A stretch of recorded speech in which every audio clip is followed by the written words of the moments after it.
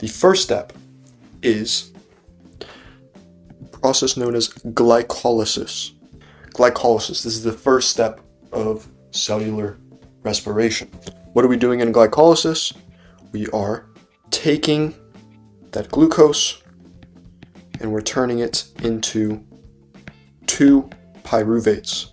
Now, after glycolysis is the intermediate step. The intermediate step involves taking those pyruvates and turning them into two acetyl CoAs. That is the intermediate step. Now, with glycolysis and the intermediate step, what are we doing? We're oxidizing our glucose molecule. We oxidized glucose, we stripped it, we broke it down into two pyruvates. In the process of doing that, we allowed some electrons to roam free.